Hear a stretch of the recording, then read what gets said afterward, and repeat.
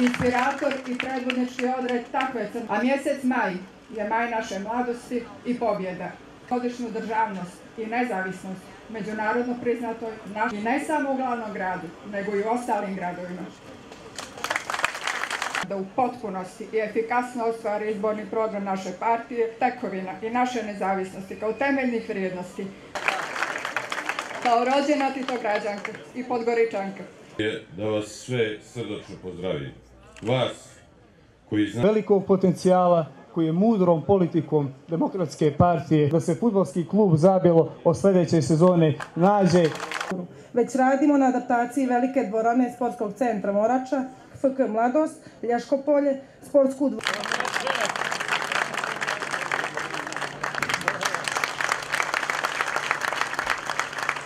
sa Drača, isto mučne zgrade.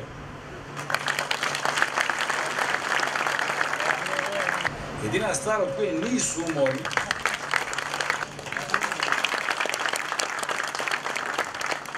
Na sreću, moji podgoričani još uvijek više vjeruju svojim očima nego njihovim riječima. Zamolit ću vas još samo jednu stvar, da zakujemo pobjedu i vidimo se na slavlju u nedjelju oči.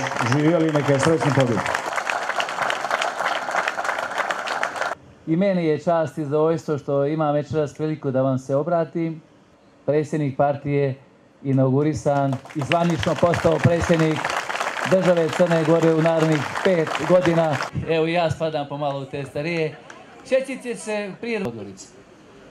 Na zgarište. Centar grada je bio zgarište i onoga što su radili oni kojima smo mi pružili gostoprinstvo. Smo svi uradili dovoljno da 27. maja, ja mislim će i za sva vremena iz njihovih glava izbaciti te naume i te i zvanično je postao novi predsjednik naše zemlje. Stupanje na novu dužnost.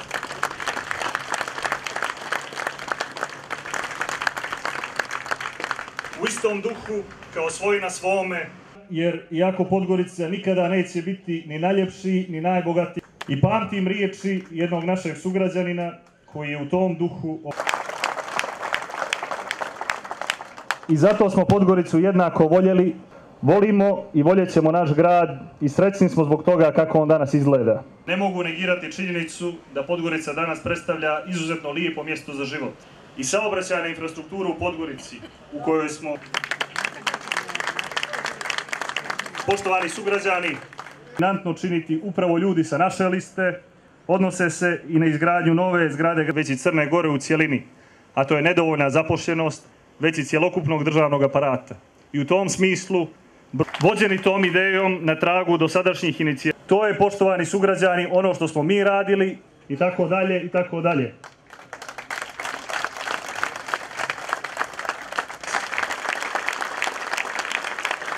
Podgoricu dalje razvijamo kako bi kroz koju godinu...